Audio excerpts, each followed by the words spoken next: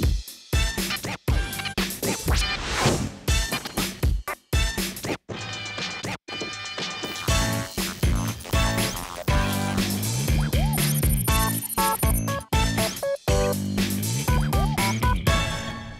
Witam Państwa w magazynie Kwalifikacje dla Każdego. To program, w którym mówimy o tym, że na rozwój warto stawiać przez całe życie. Pokazujemy, jak bez względu na wiek uaktualniać posiadane umiejętności, uzupełniać wiedzę, a także nabywać nowe kompetencje, bo przecież uczymy się przez całe nasze życie.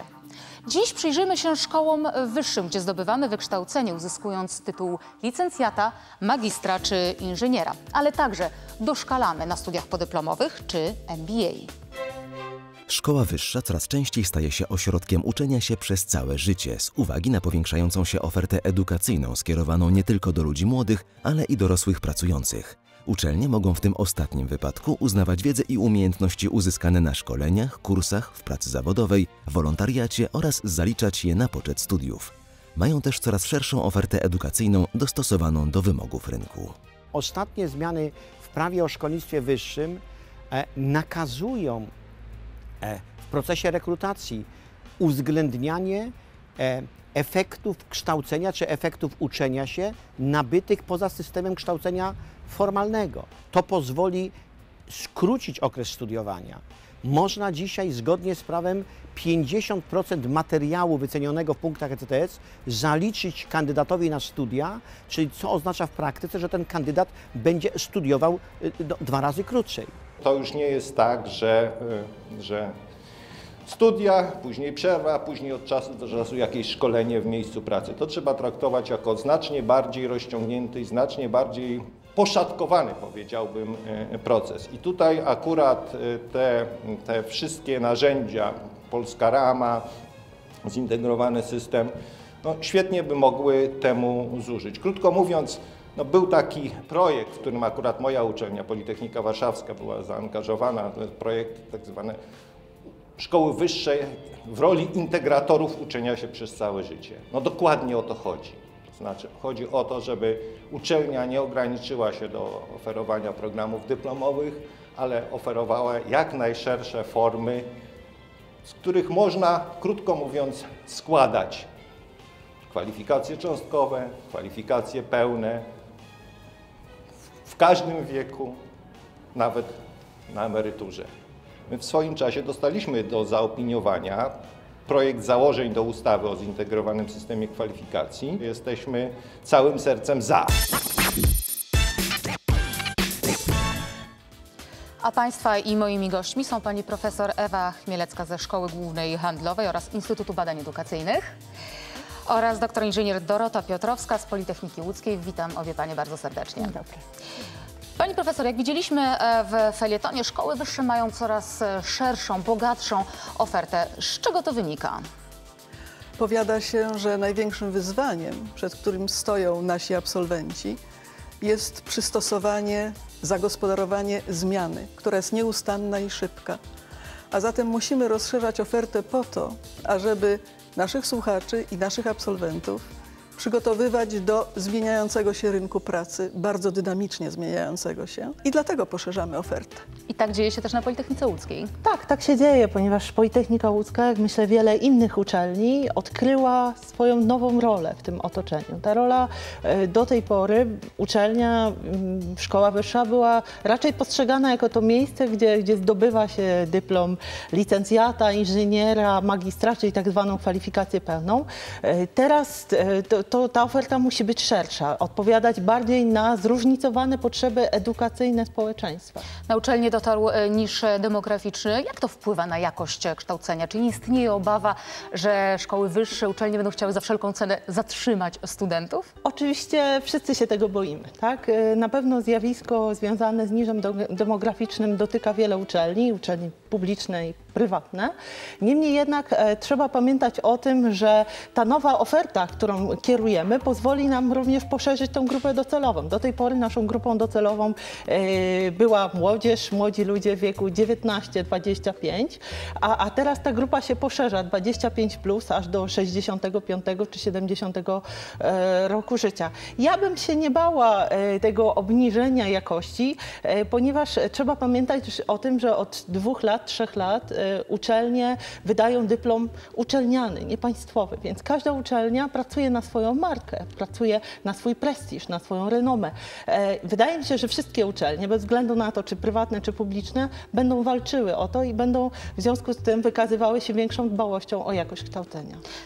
Tym bardziej, że coraz bardziej znaczącą grupą naszych klientów, studentów są nasi właśnie absolwenci. Oni wracają do uczelni po to, żeby zdobyć te dodatkowe kwalifikacje, których im brakuje.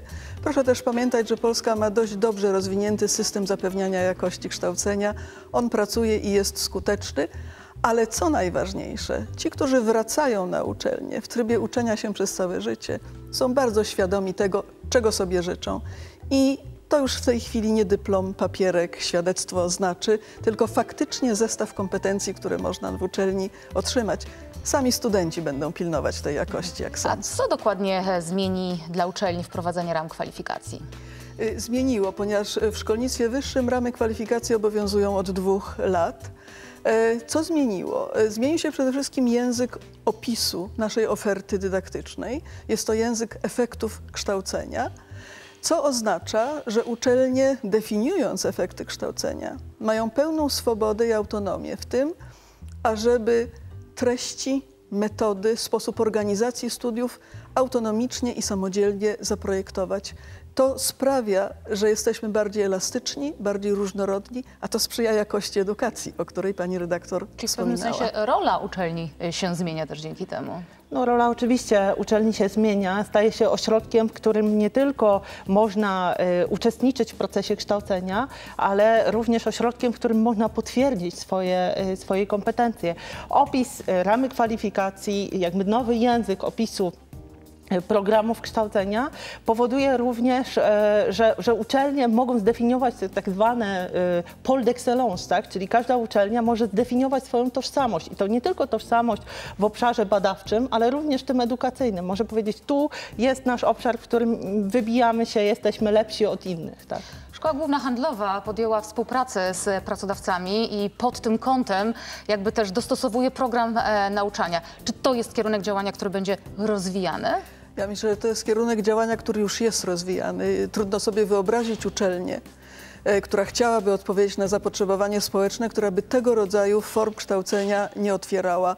E, Kiedy przyglądam się rozmaitym uczelniom, choćby w trakcie procedur akredytacyjnych czy przy innej okazji, to zachwycona jestem tym, jak silne związki z otoczeniem społecznym e, te uczelnie rozwijają. I co zaskakujące, także wyrafinowane uniwersytety badawcze, bardzo akademickie, potrafią znaleźć dla siebie znakomite pole do współdziałania z otoczeniem społecznym. E, jeśli mogę podrzucić przykład nie z Polski, żeby nikogo tu nie promować. Uniwersytet Wiedeński który jest uniwersytetem badawczym par excellence. E, na przykład oferuje słynne na cały świat szkoły letnie dla polityków, szkoły letnie dla wysokich urzędników administracji państwowej. To jest ta oferta uczenia się przez całe życie skierowana do odpowiedniego sektora gospodarki, sektora administracji, pracodawcy. To na zakończenie jeszcze zapytam. Magister oraz magister inżynier to w polskiej ramie kwalifikacji e, siódmy numer e, poziomu. Kiedy te e, numery będą wypisywane na e, świadectwach? Jak to jest i czy każdy będzie taki suplement mógł otrzymać? Tak, e, to znaczy każdy, kto ukończy studia po To wejściu w życie ustawy o zintegrowanym systemie kwalifikacji. E, W raporcie samopotwierdzenia, który składaliśmy w e, grupie doradczej Komisji Europejskiej i został przyjęty i zaakceptowany, jest wskazane bardzo wyraźnie to, w jaki sposób te numery poziomów ram kwalifikacji będą przypisywane w przyszłości do dyplomów i suplementów do dyplomów. Bardzo pilnie czekamy na to, ażeby parlament zajął się projektem ustawy o zintegrowanym systemie kwalifikacji, która już jest doń przesłana. Bardzo dziękuję za rozmowę i za spotkanie. Dziękujemy, Dziękujemy bardzo. bardzo. Powoli kończy się nasze dzisiejsze spotkanie z Państwem. Czas więc na podsumowanie. Wprowadzenie ram kwalifikacji w szkolnictwie wyższym oznaczało rezygnację z centralnej listy kierunków studiów. Uczelnie mogą więc opracowywać własne autorskie programy. Mogą planować programy dla dorosłych chcących zdobywać nowe kwalifikacje.